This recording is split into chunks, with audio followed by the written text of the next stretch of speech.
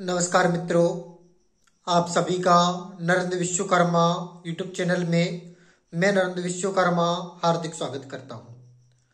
आज हम इस वीडियो में बात करेंगे वर्ग तीन की भर्ती प्रक्रिया में अतिथि शिक्षक अनुभव प्रमाण पत्र कब तक के मान्य है।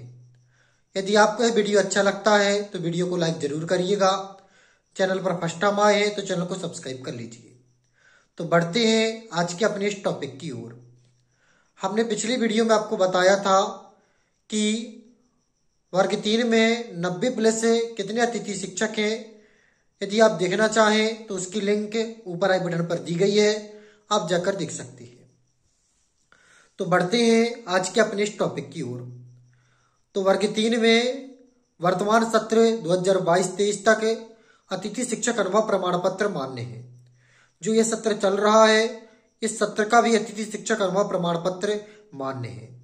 यदि आपको यह वीडियो अच्छा लगा है तो वीडियो को लाइक करिएगा। चैनल पर फ़र्स्ट टाइम आए हैं तो चैनल को सब्सक्राइब कर लीजिए।